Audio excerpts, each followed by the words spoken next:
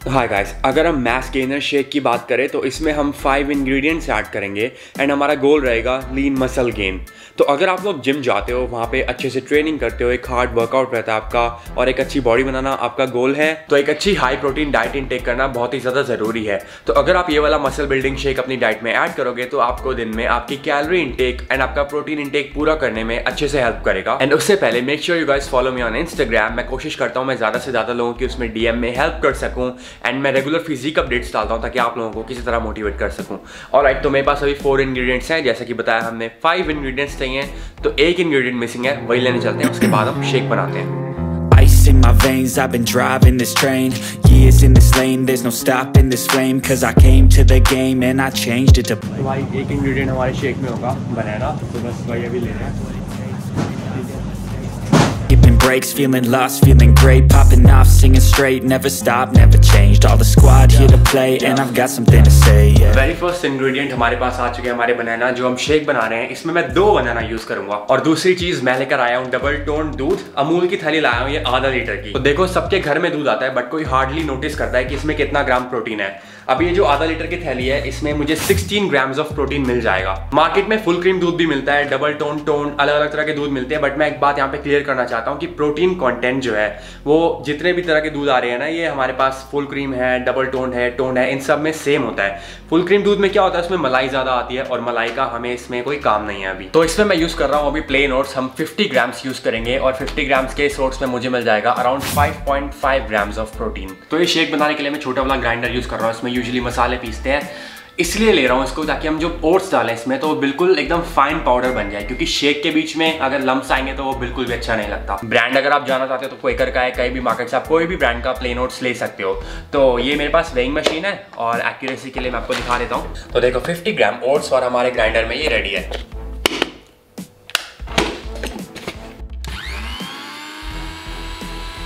तो ओट्स का एकदम फाइन पाउडर हो चुका है एंड अब नेक्स्ट इंग्रेडिएंट मैं डाल रहा हूँ इसमें, दो बनाना तो बनाना काफ़ी अच्छा टेक्सचर दे देता है, इसको स्मूथ एकदम स्मूदी जैसा, ठीक है? एंड वन मोर अब इसे देखो, ये है हमारा पीनट बटर मैंने इसको घर पे बनाया है, मैं हाई प्रोटीन पीनट बटर बोलता हूँ इसको। इसका वन स्पून लूँगा। बाय द वे अगर आपको भी बनाना है तो लिंक मैं डिस्क्रिप्शन में दे दूँगा कि मैंने इसको कैसे घर पे बनाया था। इसका टेक्सचर देखो, एकदम स्मूथ है। मैं एकदम वन स्पून ले रहा हूँ पूरा। इसको मैंने मेजर करा हुआ है। एक बड़ा वन स्पून में मुझे मिल जाएगा। सेवन ग्राम्स ऑफ़ प्रोटीन अब हम इसमें अपना डबल टोन दूध जो लेकर आए थे, वो ऐड करेंगे। पूरा 500 हंड्रेड मैं डाल दूँगा एक बार में, ठीक है? तो अपना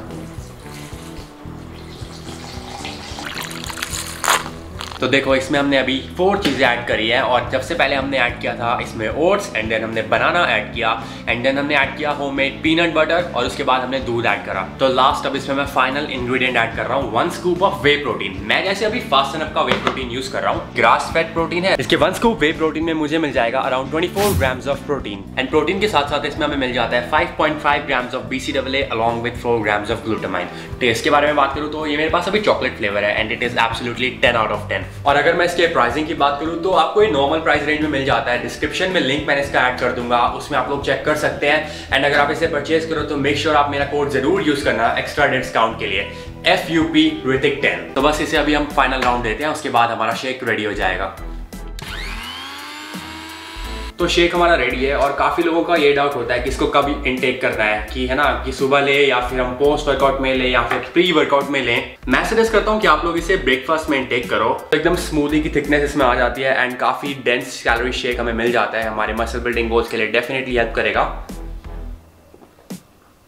तो इस मसल बिल्डिंग शेक में हमें मिलेगी around 910 calories 113 carbs 54 grams of protein and 27 grams of fats as an approximate value and अगर आपने शेक घर पे ट्राई किया तो मैं श्योर करता हूँ कि आपको भी इसका टेस्ट बहुत ही ज़्यादा अच्छा लगेगा। तो जब स्टार्टिंग में हम जिम जाते हैं और अपनी डाइटिंग स्टार्ट करते हैं तो ऐसा होता है हमें भूख कम लगती है। ज़्यादातर लोगों का एपेटाइट थोड़ा कम होता है एंड वहीं ऐसे शेक्स काम आते हैं ताकि हम लोग अपना कैलोरी इंटेक पूरा कर सकें। अपने दिन में ऐसी एक मील ऐड करना या फिर अपनी जो खाना है, उसको भी ब्लेंड करके पीना, ये एक अच्छा आइडिया होता है ताकि धीरे धीरे आप अपना एपेटाइट बिल्ड कर सको एंड धीरे धीरे आपकी भूख बढ़ सके। इस मैच गेनर शेक में हमने आपने जितने भी इंग्रेडिएंट्स यूज़ करे, वो सारे क्लीन सोर्स ऑफ़ फ़ूड है एंड डेफिनेटली आपको लीन मसल गेन करने में ही हेल्प करेगा। एंड एक बात और बोलना चाहूँगा, जो लोग सोच रहे हैं इसको पोस्ट वर्कआउट में टेक करेंगे तो मैं इस शेक को पोस्ट वर्कआउट में रिकमेंड नहीं करता हूँ, क्योंकि इसमें काफ़ी सारे फैट्स होते हैं।